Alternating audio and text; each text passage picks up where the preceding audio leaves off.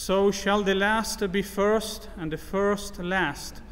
For many are called, but few chosen. In the name of the Father, and of the Son, and of the Holy Ghost, Amen. The imagery and symbolism found in the epistle and gospel of today's Mass points to a most important divine message. We have been invited to participate in eternal glory. It is now the time to work in order to obtain the reward. The kingdom of heaven is like to a householder who went out early in the morning to hire laborers into his vineyard. And having agreed with the laborers for a penny a day, he sent them into his vineyard. Above all, we must understand that heaven is a reward. God has made it possible for us to merit such a reward. The reward has been freely offered. We are all invited to work for it, like the laborers in the vineyard. But the reward is given only to those who deserve it, only to those who actually do the work. It is often said that God loves us unconditionally. This is true in a sense, in the sense that God has loved all of us first and has invited us to participate in his own happiness. But in order to obtain such happiness, we must correspond to God's love. Friendship is between two persons. So, in this sense, God's love is not unconditional. He expects us to love Him back. In order to obtain the eternal reward, we must fulfill two necessary conditions. The first condition is to have the virtue of faith. Faith is the beginning, is the foundation and the root of justification. And the second condition is to have good works, good supernatural works. And this is possible only if we are in the state of sanctifying grace. And going out about the third hour, he saw others standing in the marketplace, idle. And he said to them, Go you also into my vineyard, and I will give you what shall be just. And they went their way. And again he went out about the sixth and the ninth hour, and did in like manner. An author points out that those standing idle in the parable are not sinners, because sinners are not idle, they are dead. If you love mortal sin, for example, the sins of the flesh, impurity, you have been called for to a life of grace. But your present state indicates that perhaps you have not been chosen for a life of glory. Yes, you can still change and go back to grace, but as long as you love sin and refuse to take all the means necessary to remain habitually in the state of grace, there is no hope for you. Extraordinary graces are called extraordinary for a reason. Do not abuse God's mercy. One of the signs of not being predestined is the habit of impurity in an old age. But let us go back to the idle of the parable. He is idle who works not the work of God, that is, he who neglects religion and he who relegates religion to a second place. And this is the case of those Catholics who are externally pious and observant, but who remain attached to the things of this world. The soul of those Catholics is not totally converted to creatures, but is not totally converted to God either.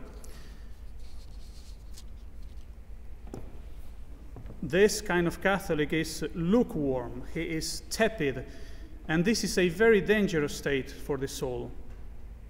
We know that because in the book of the Apocalypse it is said, Because thou art lukewarm and neither cold nor hot, I will begin to vomit thee out of my mouth. God demands our entire heart, not just part of it.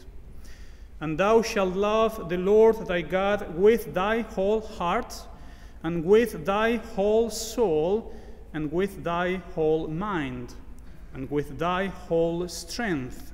This is the first commandment. But about the eleventh hour he went out and found others standing. And he said to them, Why stand you here all the day idle? They say to him, Because no man hath hired us. He saith to them, Go you also into my vineyard. Saint John Chrysostom says that they who have neglected till extreme old age to live unto God have stood idle to the eleventh hour. Yet even these the master of the household calls, and oftentimes gives them their reward before others, inasmuch as they depart out of the body into the kingdom before those that seemed to be called in their childhood. In a way, it does not matter if you have been tepid or lukewarm for many, many years, even for your entire life, as long as you decide to accept the Lord's invitation at the 11th hour.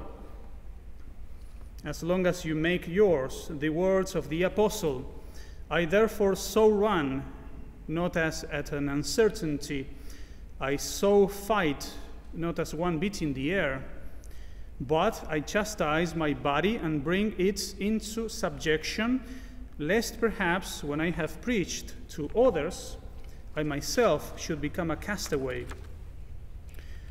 St. Paul says, I chastise my body, showing the necessity of self denial, mortification to subdue the flesh and its inordinate desires working in the Lord's vineyard is uh, the exact opposite of being idle. The spiritual life is a constant struggle and demands generosity. It would be unreasonable for someone to refuse the Lord's invitation by reason of the labor involved.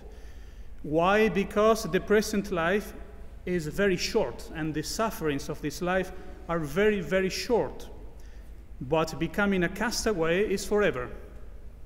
Damnation is eternal. And to refuse the cross and the labor appears even more unreasonable when we remember the words of our Lord My yoke is sweet and my burden light. And when evening was come, the Lord of the vineyard saith to his steward, Call the laborers and pay them their hire, beginning from the last even to the first.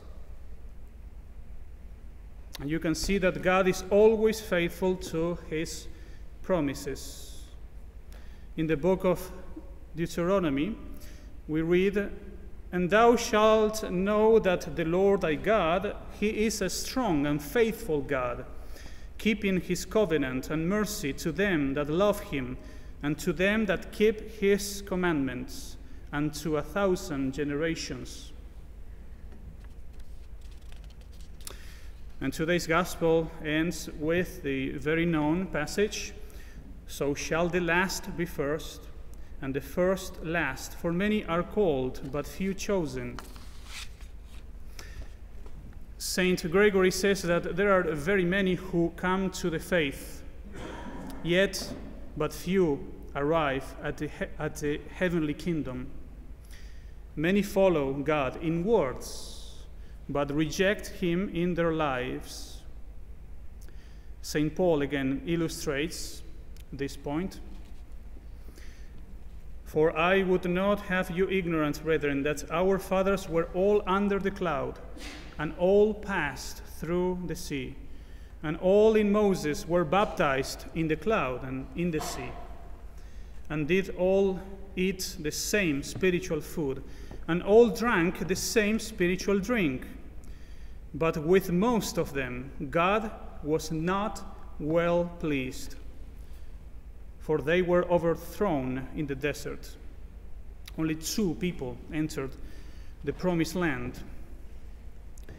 Unlike Joshua and Caleb, the other Israelites followed the Lord's calling out from Egypt, but they did not follow him into the land. Many Catholics repeat this same error. They have followed the Lord as he led them out of the spiritual death of sin and guilt. They are out of Egypt. They are forgiven of their sins. They have new life in Christ. However, they do not follow the Lord on into the land. Instead of working hard for the attainment of true holiness, they prefer to remain standing idle so we have two quick lessons to gather from this. First, we must learn to avoid all presumption. The fact that we have the faith does not mean that we are going to persevere in it until the end. And second, we must never despair of our neighbor. Many who are sinners today may still receive the grace of conversion. And this is what, according to Saint John Chrysostom, our Lord means when he says, The first shall be last, and the last first. Christ alludes secretly to such as were at the first eminent and afterwards ended up with no virtue, and to others who have been reclaimed from wickedness and have surpassed many so that this parable was made to quicken the zeal of those who are converted in extreme old age, that they should not suppose that they shall have less than others. Our Lady, help of Christians, pray for us. In the name of the Father, and of the Son, and of the Holy Ghost, amen.